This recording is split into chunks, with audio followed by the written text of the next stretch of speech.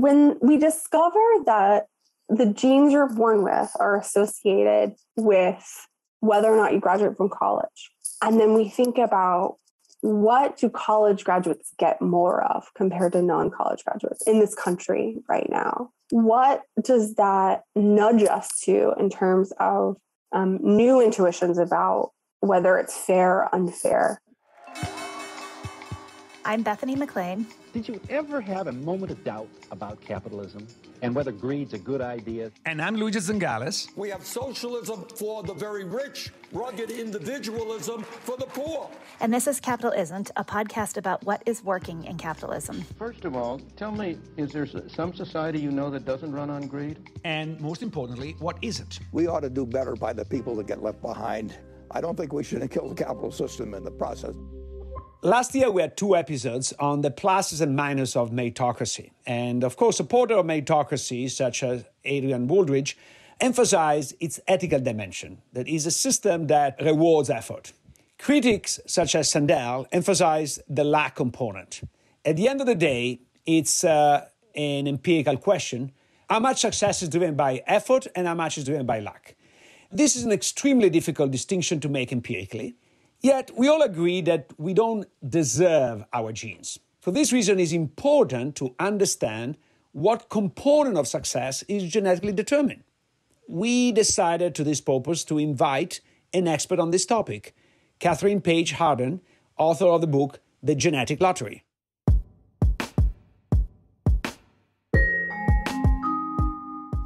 To start just by asking you to explain both the nuanced position that you're trying to carve out on this issue and why it is that on this issue it is so diff- difficult to achieve nuance, at least in the minds of the people who are reading your book.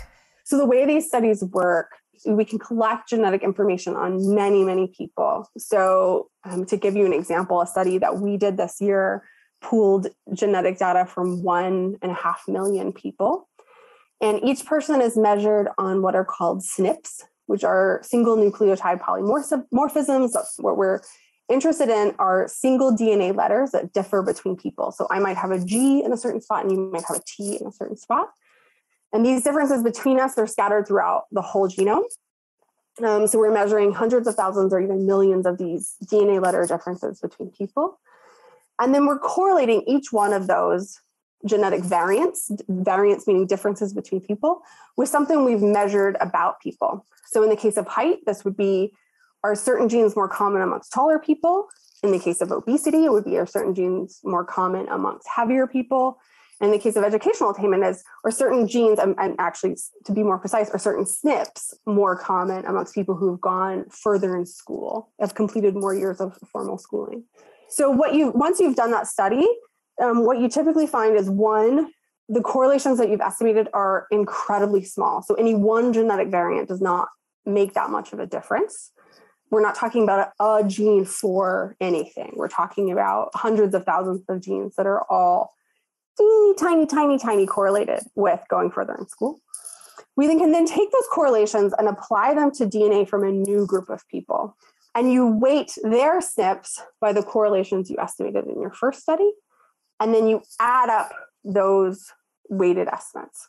So I got two copies of a variant that's associated at R equals 0.003 with going further in school. So two times that correlation, and then you add that over the whole genome. So what that gives you is a single number, one number per person, that's based entirely from just something we measured from your DNA that reflects our best guess based just on your DNA of your likelihood of showing whatever phenotype we're, we're studying. So when we're talking about educational attainment, that polygenic index in white people in the United States, in that population, the polygenic index is as strongly correlated with the rate of going to college as a variable like family income is. So we see that um, students who are on the, the, the lowest 20% of the polygenic index are five times less likely to graduate from college than students who are in the, the top 20% of the polygenic index.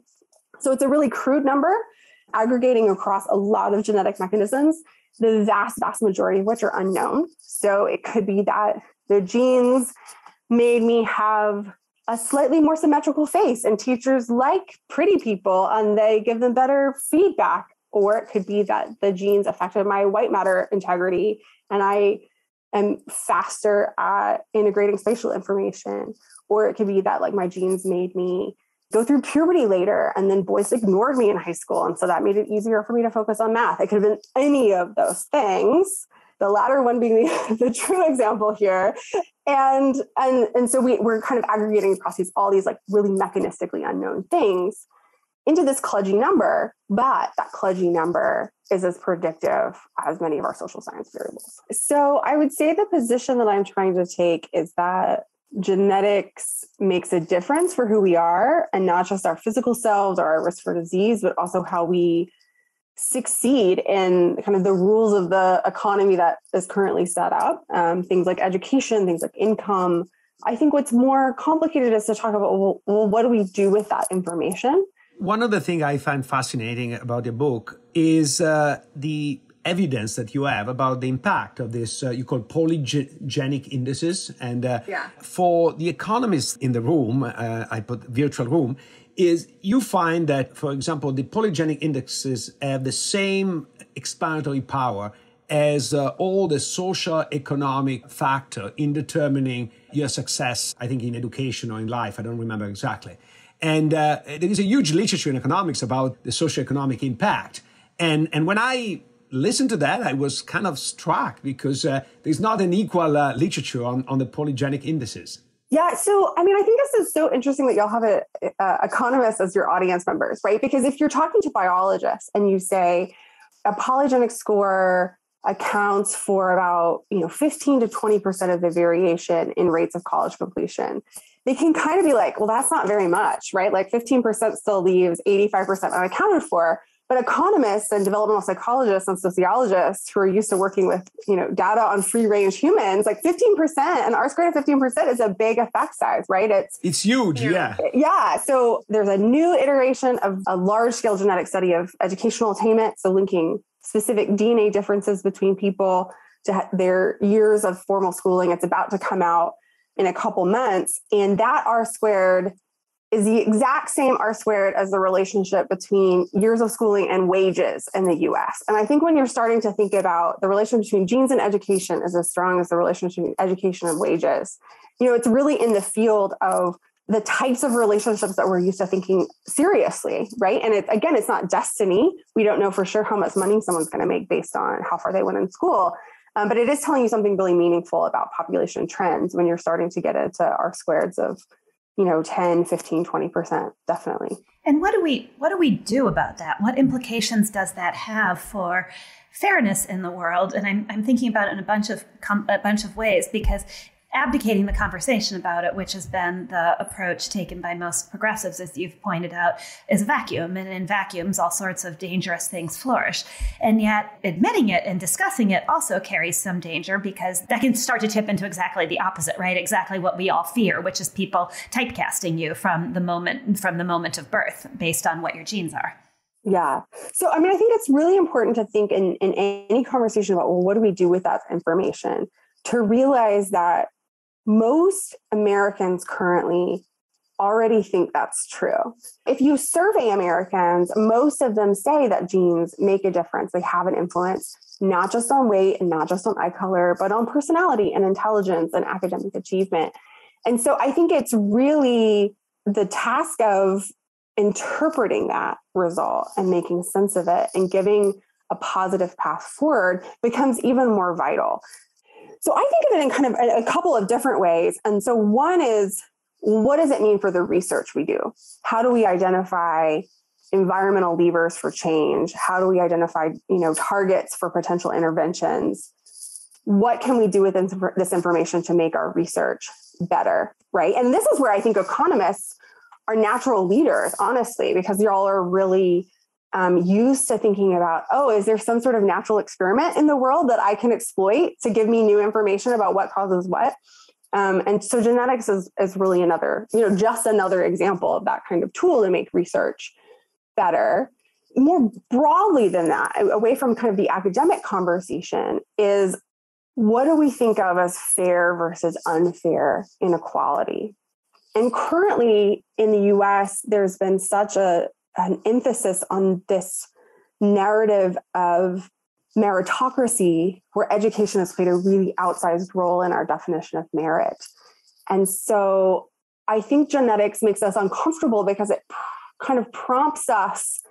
And I, am certainly not the only one, and geneticists are not the only one who've been prompting us to have this conversation to think about is that really how we want to define fair versus unfair?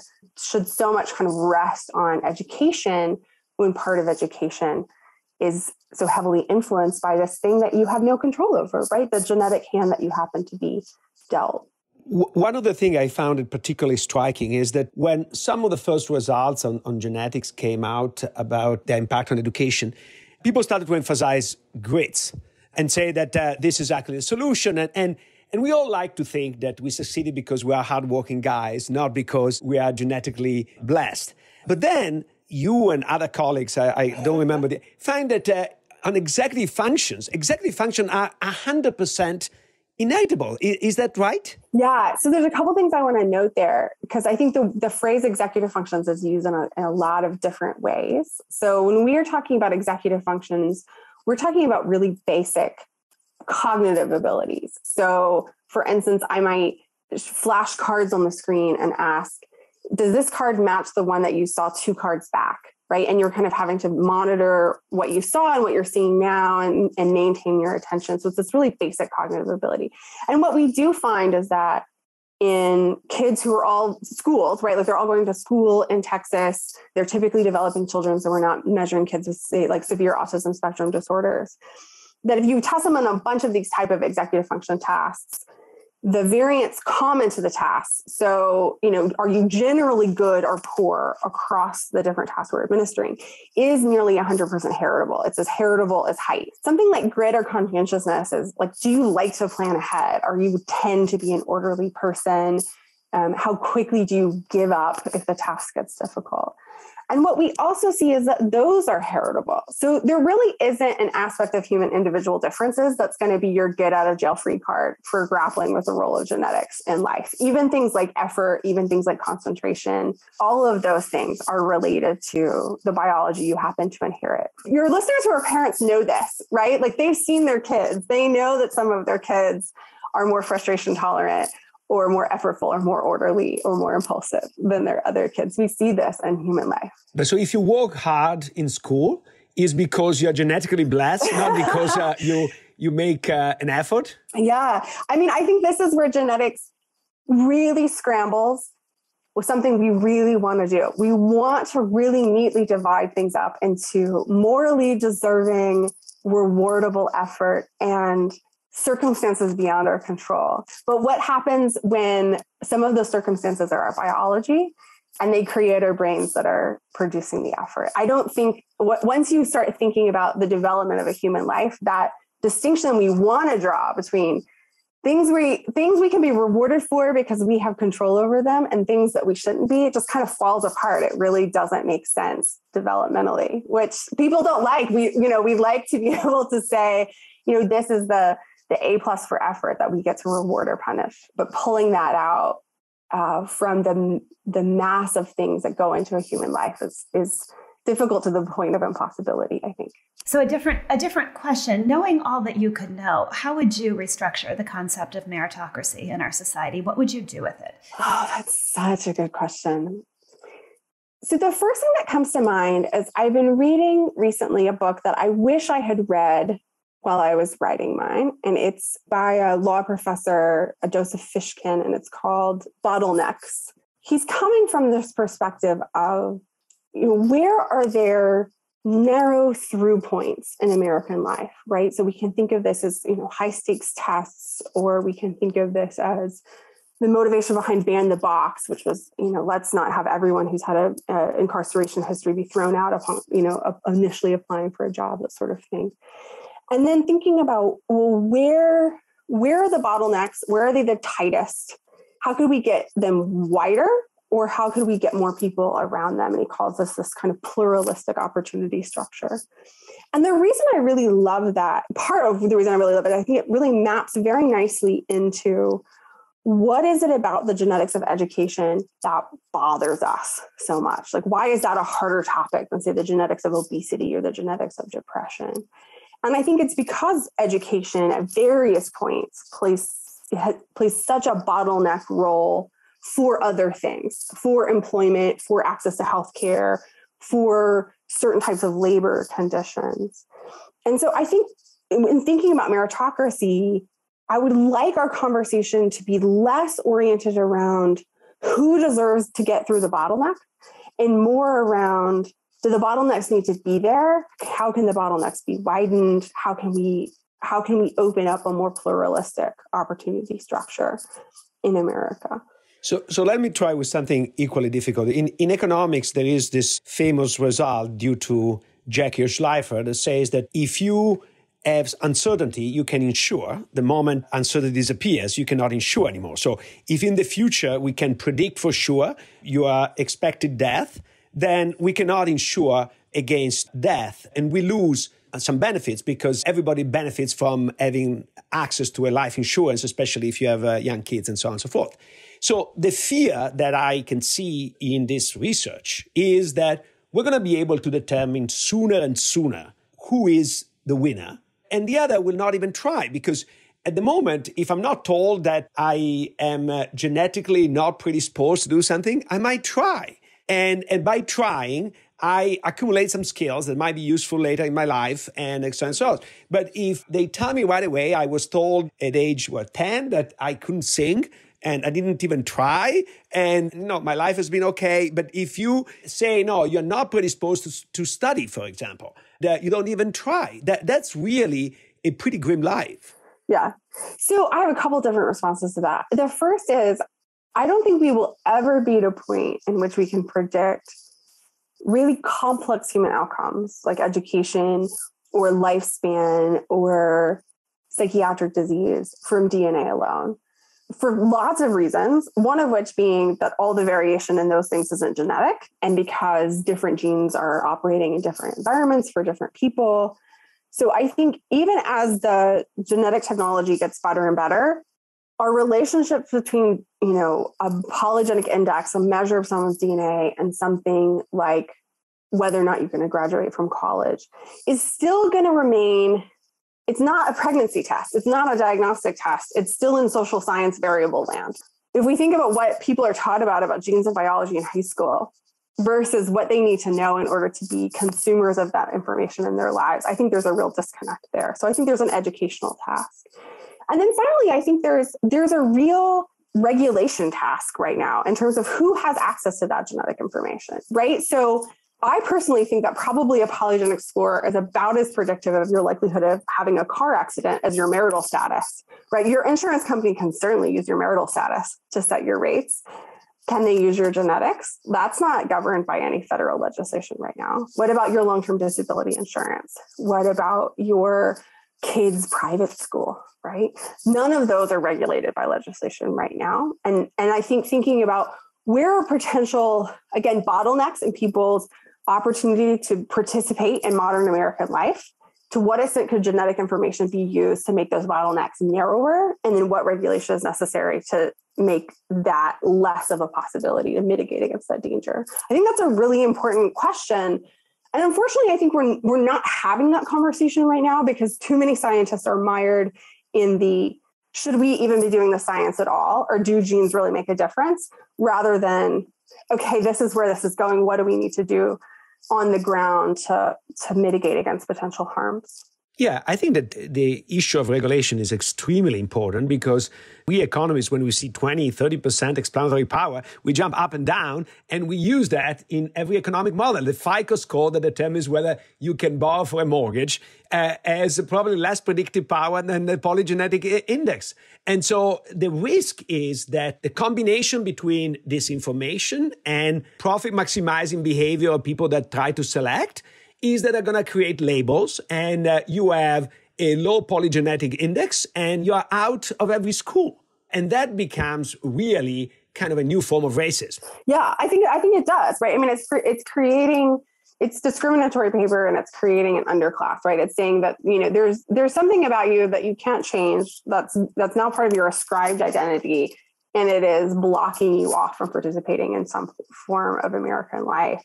What's interesting to me is that people like there's such a paradox, right? Like when we're thinking about healthcare, you know, health insurance is the kind of the one thing that's federally governed right now that you can't discriminate against someone on the basis of genetic information.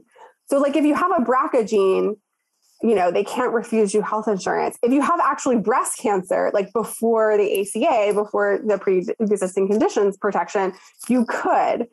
That's very, very strange, right? Like, if you have a polygenic index that, that predisposes you towards impulsive behavior, we think that shouldn't maybe be used by your car insurance. But if part of your impulsive behavior is getting divorced, your car insurance already uses that, right? So we, again, I think genetics what it does is it kind of pushes on some of our little intuitions about what things are fair or unfair to select on because we have a really strong intuition that we don't want our genes to be used against us. But once you start thinking about all the stuff that is influenced by our genes that's already used against us that's already used for selection a lot of that selection and, and sort of classification of risk that is built into american life starts to feel a little bit morally eerie. And, and I think I don't want people to shrug that off. I want them to sit with it and think about, well, to what extent does that tell us something about the way we approach the, the pooling of risk in this country around, you know, the various things that could befall us? And to full information, one of the reasons why we seek out your opinion is because we had two podcasts last year that were very successful about meritocracy and one with Adrian Wooldridge, who was, of course, a supporter of meritocracy and sees that this is also almost ethical because rewards effort. And the other was uh, Sandel that emphasized the luck component. And at the end of the day, a lot has to do with uh, how you interpret the data. And of course, your, your book comes really handy in that dimension. The fact I found it particularly interesting, speaking of intervention, is your example of the glasses and uh, how sort of intervention can be designed to actually reduce inequality rather than uh, exacerbate it. Can, can, you elaborate on that? Because I think that that would be very interesting for our uh, listeners. Yeah, the glasses example is a classic, and it comes from a 1970s paper by Arthur Goldberger, in which he said you know, look, we know that eyesight is heritable. If you have poor eyesight, particularly in adulthood, that's likely in part because of the genes that you happen to inherit from your parents.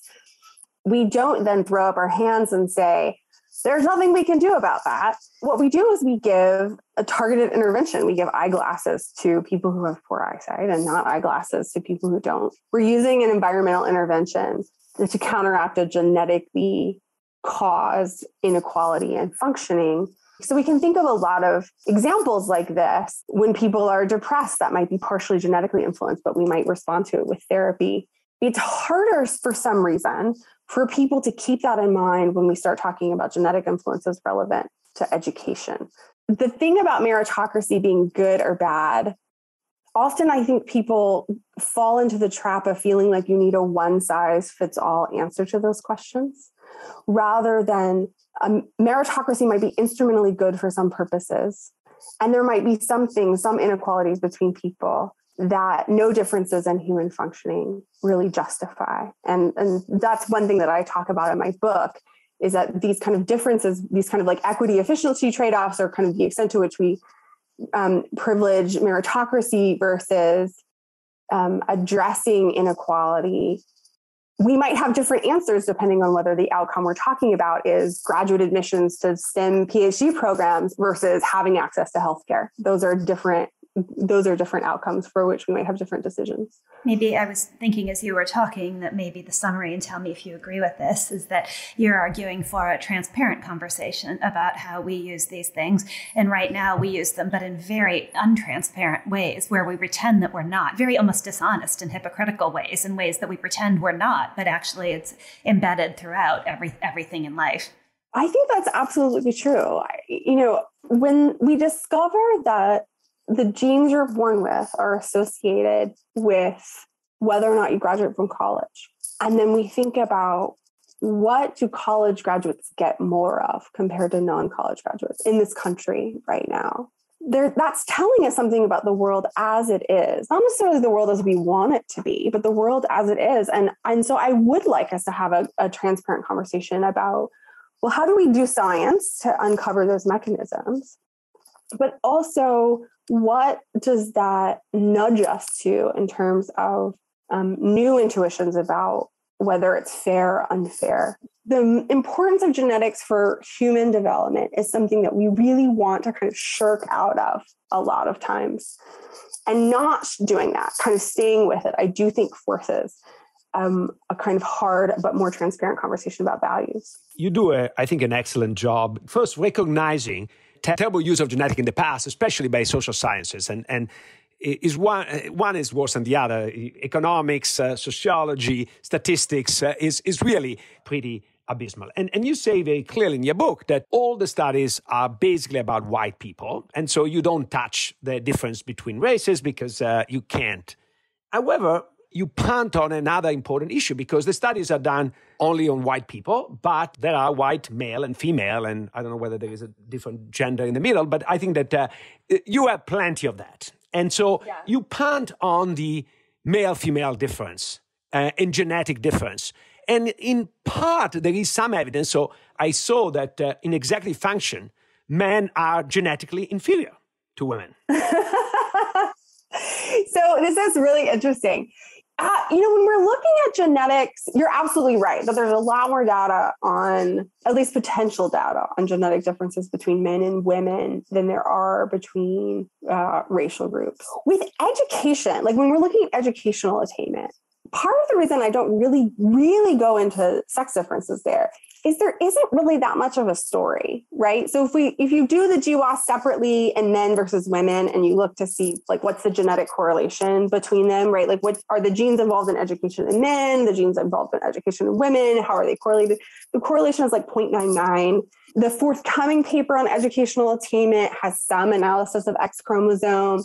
There isn't a huge story there. There just isn't much to talk about, talk about there. And what we see is that, you know, when we're just looking at the predictive power of, of a polygenic score, um, I write about this in the book, right? You see really big differences in the early 20th century in the predictive power of the polygenic score for men versus women. It's much more predictive for men than for women. And then as women get access to education, the polygenic score becomes increasingly more predictive of women's educational attainment until you you essentially get no sex difference um, at the the latter part of the 20th century. I wanted yeah. to go back to something you'd said earlier about the way in which our DNA will never be completely predictive. That that we have to worry about aspects of this, of course, but we don't have to worry about the complete diagram being handed to somebody at at, at birth. To me, that's one of the happiest things I've heard that in 2022. It's been a rough start. That's one of the, that's one of the best pieces of news because I, have always loved that Leonard line from a Leonard Cohen song. It's the crack that lets the light shine through. You know, it's the things that we can't quite add up that are going to save us.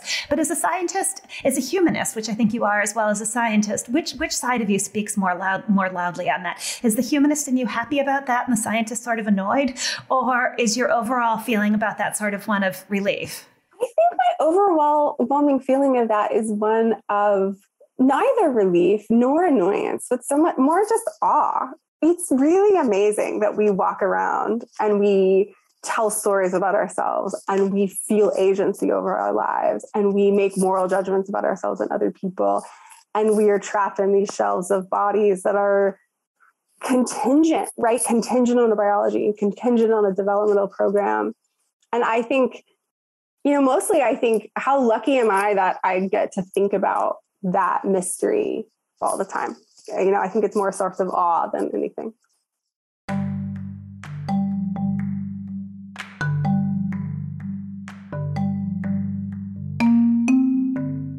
one of the things that fascinated me about our conversations on meritocracy was the layers of it. That as you start to unpack what does it mean to be a meritocracy, it gets more and more complex in, in the layers under the surface.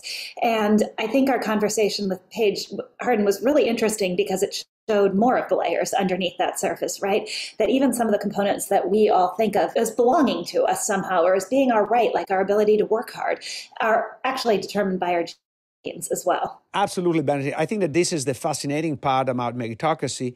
And also, what I understood reading uh, Kathryn's book and talking to her is uh, to what extent what we define merit is really a function of the way we design a test and to whom we design a test. We all have a different portfolio of skills. If you design a test based on singing, I'm the last one in the class. And actually, as a little kid in elementary school, uh, the priest told me to stay away from the microphone because I will ruin the Christmas songs. oh my God, wait, I have to interrupt you right here because this is something we have in common for all of our journalist e- economist differences. So I grew up in a really small town in northern Minnesota called Hibbing, and I, I actually went to elementary school in an even smaller town called Pengilly, and there were not enough kids to make a choir. And I thought I could sing, and I tried out for choir, and I still remember the uh, the teacher hitting a note and having ah ah, and she finally said, "We don't have enough kids for choir, but you can't join." I'm sorry. so anyway, back to what you were saying. A commonality, Luigi. yeah, and uh, I cannot fish for my life. In a sense, even when I go to the fishing ponds where you have to pay for what you catch, I fail to catch fish even there. So I'm really incompetent in, in so many dimensions. And even uh, Harden said that one of the few things that seems to have a difference between men and women is your ability to organize spatially and actually go, go back home to have a sense of orientation and I have a terrible sense of orientation. well, I have a terrible sense of orientation too, actually. So there's another commonality. Go figure. but but so, uh, but so I think that uh, uh, and and some of these tests have some connection with what we need in society at some moment. So you know, in the old tribal world in which you had to survive to become a, an adult, you had a, like a, a, trial uh, by fire. Was because that's the kind of life you were supposed to run later, and, and that was a good test of your ability to survive.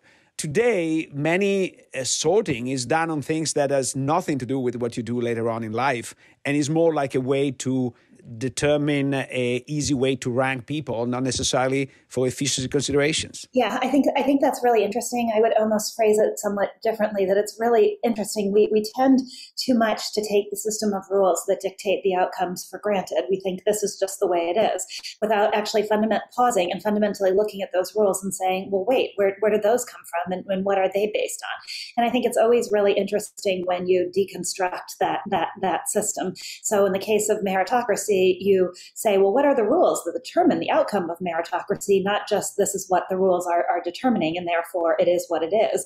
And I, I think I think of that, and that that applies to so many other spheres too. It actually there's an interesting analogy to some of our discussions about capitalism and markets. That capitalism and markets work according to the rules we've laid down too. There's no such thing as a purely free market. It's actually determined by the rules we put in place.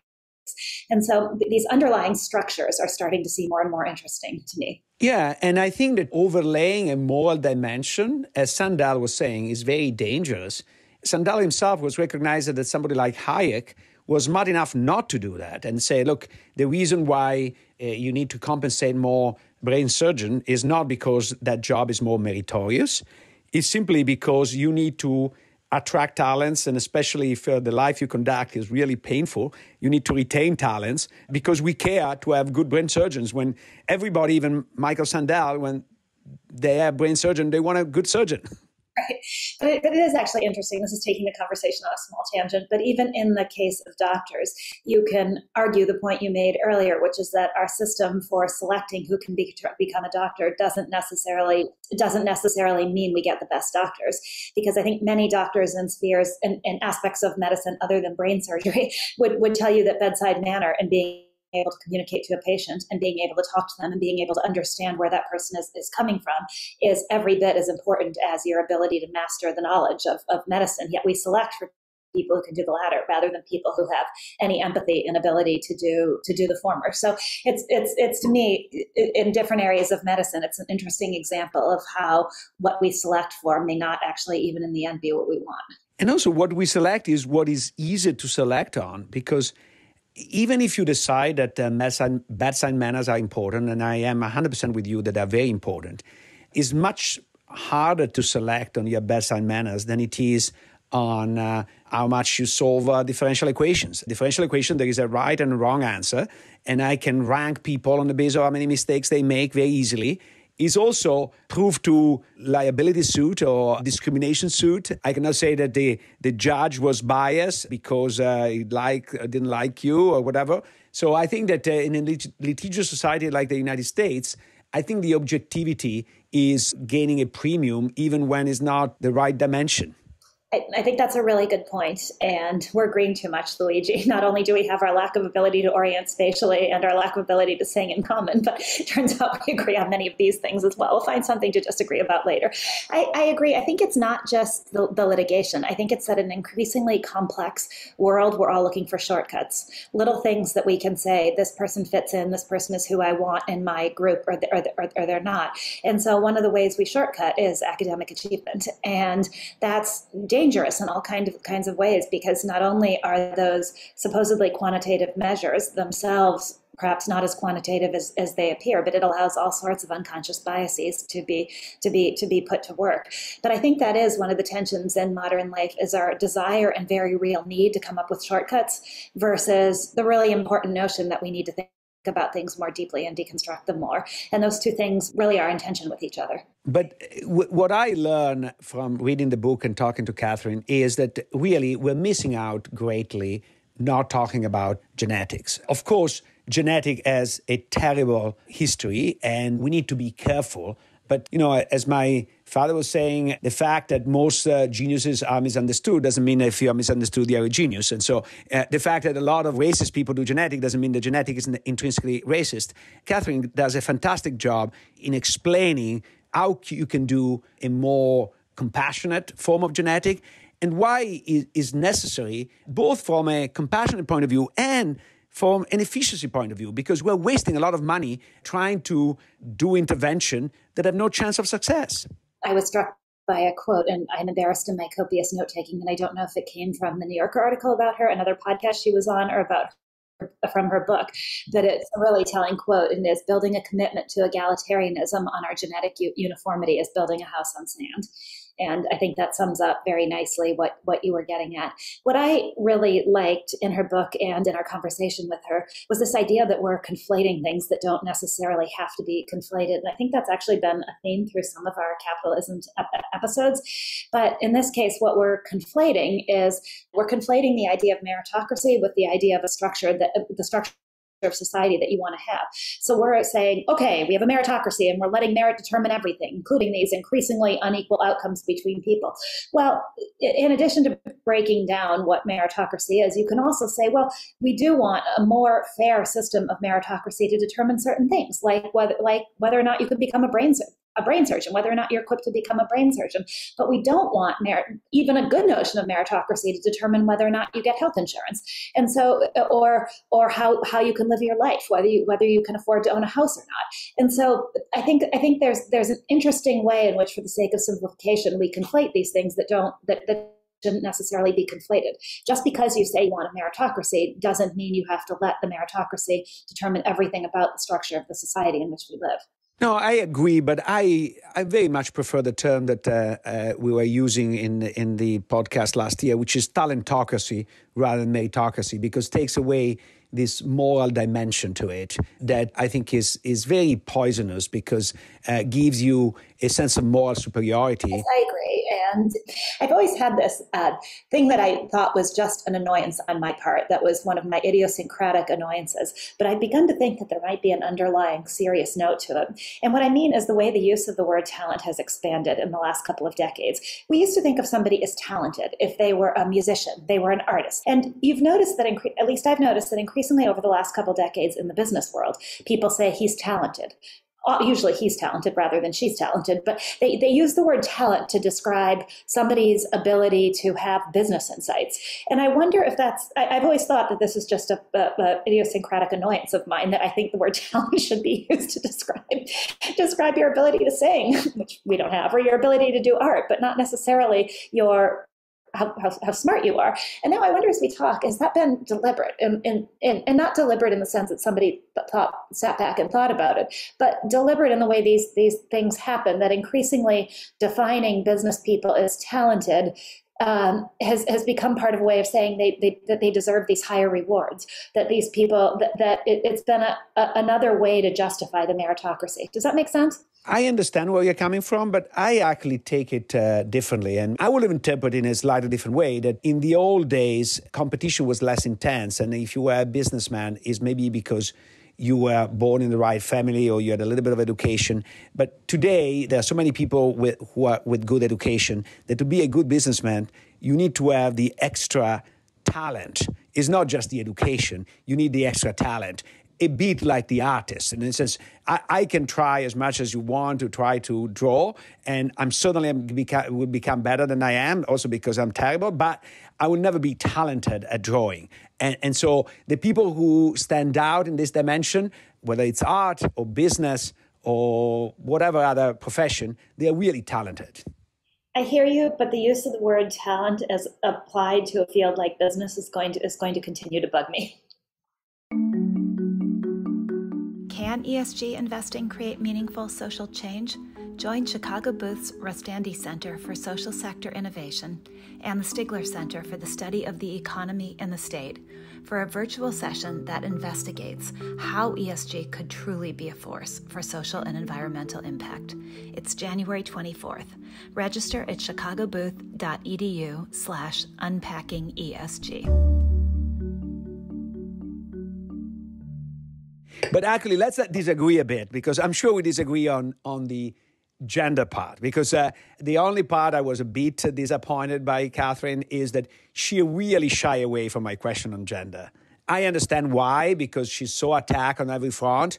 But her defense in the book that we don't have genes for our races is correct, but it doesn't apply to men and women. And and I think that is inevitable that we're going to find some correlation, maybe big, some small, I don't know, in which uh, the talent is different. And so we need to start preparing for that. Yeah. I mean, I, I suppose maybe that is, maybe if she wants her message to be heard, that is one bridge too far, one set of enemies that she doesn't, that she doesn't need to make. But I am in agreement with you that I can't believe there won't be differences. There have to be. And some will be in women's favor and some will be in, in, in, men's favor. And I don't think that that has to be a terrible thing. We appreciate on some level that we don't all want to be exactly alike. If we were all exactly the same, the world would be really, really, really boring. As long as differences aren't punitive, I think uh, hopefully we can have some appreciation of that. And it doesn't have to be a bad thing to know that there are differences. But you know, it's, it's fascinating. It's always been kind of a topic of debate among feminists. How much do you say? And I remember I did a piece um, for Fortune many, many, many years ago about why there were no women in the hedge fund business. And it, it really encapsulated this debate in that about half of the women I spoke to who said, well, women are no different than men. We invest exactly the same way. We have exactly the same capabilities because I don't want to go to a place where I say that women and men are different because that opens up this whole Pandora's box of saying that we're different and that will be turned against women. And then there was another set of women who really embraced this notion of we're different, we're better, take we take risk better, we're more thoughtful about things, we, we see the world differently. And so it's really a division even among women themselves, women ourselves, whether you fall into the category of I don't want to acknowledge any difference because there there lie dragons. Or I want to I want to acknowledge difference and claim that we're better, and it's, it's it'll, it'll be really interesting to see how any evolving evidence on this front affects that that split. And I think that this is where maybe the abuse of meritocracy creates some problems because the moment you say different, if you have everything value ranked with merit, you immediately say they are different, they're better, uh, or they are worse. In sense, it's very hard to just stick to the point they're different.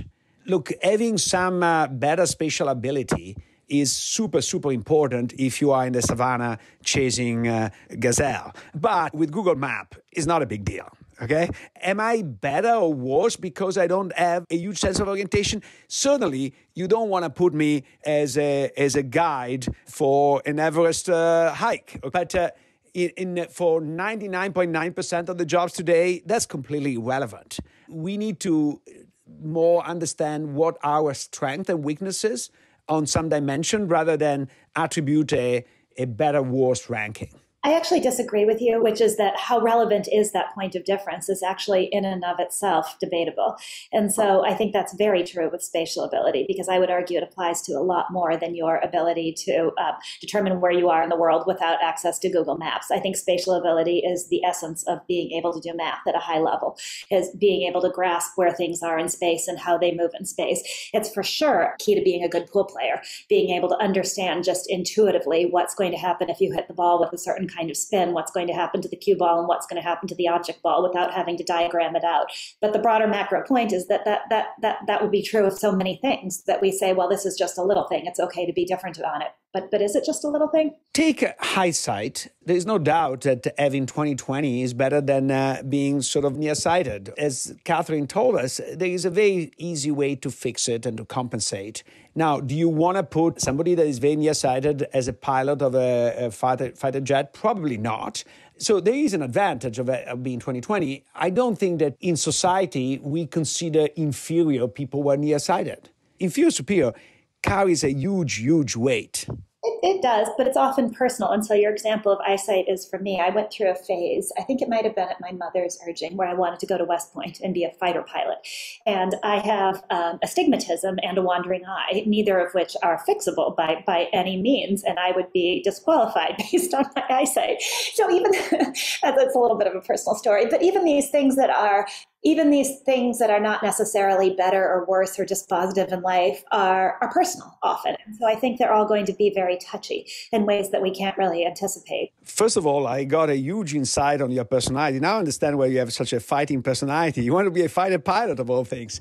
This aside, I'm not saying that, look, it, this is not a, an advantage or disadvantage, but I think society does not label you as inferior if you see less well some things is better, for others is, is worse. And it's, uh, I learned playing soccer. Now I understand why I was so terrible because I, I don't have good spatial ability. So that you explained to me that. But there are, there are two types of player. There are the one that plays offense, and then they have to you shoot 20 times in a game, and if you do score once, you are a hero, right? And so you have to forgive yourself 19 mistakes. If you're a goalie, you have 20 shots, you have to catch them all, right? If you make one mistake out of 20, is a huge mistake. So the kind of personality that you must have as a goalie and as a forward are completely different.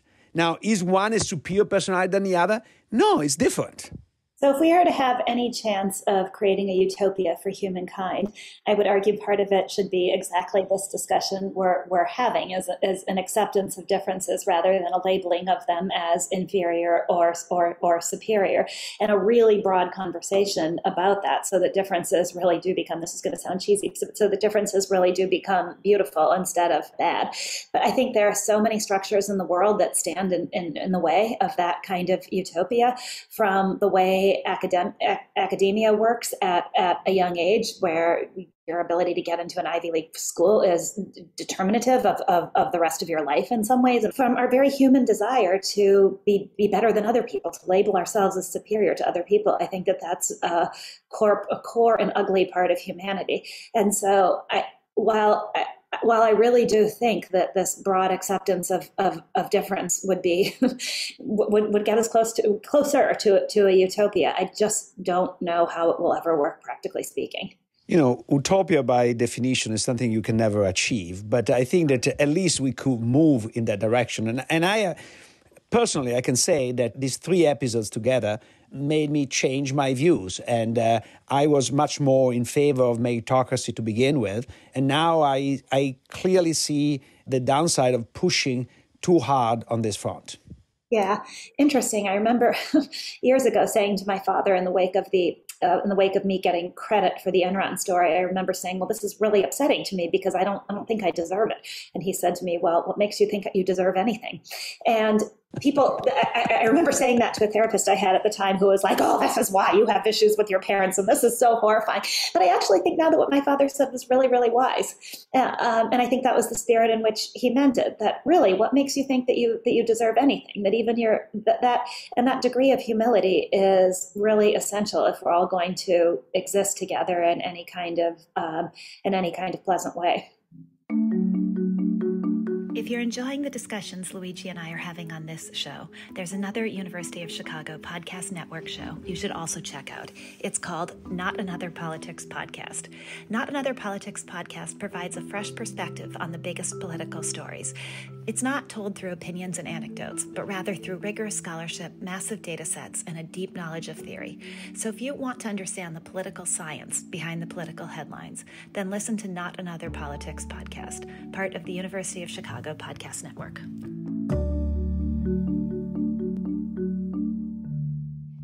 So today we thought we would do as our capital is or capital isn't Microsoft's controversial acquisition of Activision. Wow, it's hard would be hard to say that really quickly. Microsoft's going to be acquiring Activision Blizzard uh, for $95 a share, this says, in an all cash transaction that's valued at $68.7 billion. Controversial acquisition of Activision. Huh, maybe it's not that hard. I think this is about Microsoft getting really premier first party uh, co- uh, content to go with their big suite of Xbox. Uh, Xbox has more than 100 million people. Luigi, your thoughts? So my preamble is I belong to a generation that doesn't do video games. So this is not exactly my cup of tea in terms of market. This said, I think is is fascinating because to me is the reaction to the fact that Google and Facebook are entering into this space. Eh, this space used to be dominated by Nintendo and Sony and Microsoft because the, the console was crucial. And now in the near future, the console beca- will become less important because Google now has some way in which you can do video games streaming without any console. And so there's a fear that there will be much more entry in the industry. So people are trying to consolidate to defend themselves. That's interesting. I am not a video gamer either. I've been told actually I should be that it might improve my driving skills. And Luigi, maybe it could even improve your sense of direction. Video gaming is supposed to work wonders for all, all sorts of things. Anyway, that that that aside, I admit I'm a little biased in this. I had written a, a a story about Microsoft back in, I think it was 2013, 2014. And basically, the guns were blazing for Microsoft from Silicon Valley. Everyone in Silicon Valley, or at least a lot of people, were eager to say Microsoft was on the brink of failure. They were so far behind and had screwed up so badly that they could they could no longer fix it. And that frankly was the story if I had a story in my mind that I thought I was going to write when I set out. And I ended up meeting Satya Nadella and thinking if anybody can save Microsoft, it's this guy. And in my um, innately contrarian way of being, I couldn't help kind of starting to root for Microsoft after that. And and and so I think the big bad Microsoft of all companies, which was you know the ultimate evil empire when when I was growing up in journalism. Um, but but I, I, I think that there's a certain amount of scrutiny that Microsoft's acquisition of Activision, there I said it again, gets that the big tech giants acquisition of competitors doesn't get. And I recognize that that's in part due to the gaming culture and gamers see themselves as outsiders and and they don't want to be corrupted by big corporate ownership. But I still think that the amount of rage directed toward Microsoft is a little bit out of step with the amount of rage that comes at other big powerful tech companies that make probably more meaningful acquisitions in the scheme of the world. I agree with you because, uh, again, not being a video gamers, I'm much more concerned about information, news, media, and the impact of this on democracy than the impact of video games on democracy. The most important aspect, that I think that is not being emphasized, at least in the articles I read, is that the game is changing. Uh, the video game game is changing because uh, uh, there will be a lot of entry by the same players, but players that so far uh, uh, have not been in the video game business. And I think that this is a, a defensive acquisition, not a, a, outreach of Microsoft in a different domain. I, I, I, agree. And I think that's a smart way of thinking about it. That said, if you look at the history of many big acquisitions, and I'm saying this as an anecdote driven journalist, not uh, empirically speaking. I have not done the analysis, but if you look at the many, many big acquisitions, they don't they don't turn out well. Look at Microsoft has effectively destroyed Skype, or at least not done with it what one could have done with Skype. And so the history of Microsoft making big acquisitions and making making them phenomenally successful isn't great. And I think that's actually true of a lot of big companies. So my guess is that this doesn't bode well for Activision's innovation and ability to succeed in the future unless, and I don't know the answer to this, unless its culture is very similar already to that of Microsoft. And for some reason, I really, really doubt that Activision, Activision's existing culture is similar to Microsoft. If I had to bet from the standpoint of sheer, is this going to make Activision more valuable or less valuable? I'm going to say it's going to make Activision a lot less valuable. And that from this, in a purely destruction of capital way, this is a capital isn't. Cyclically, yeah, absolutely right. The big exception, of course, are the one where you do generate some monopoly power. So Facebook acquisition of Instagram or WhatsApp uh, have worked out really, really well. But in a sense, the fact we're worried about Microsoft and uh, the success of this acquisition suggests that maybe the antitrust cons- uh, concerns are less than uh, people make them to be, and the business concerns are bigger.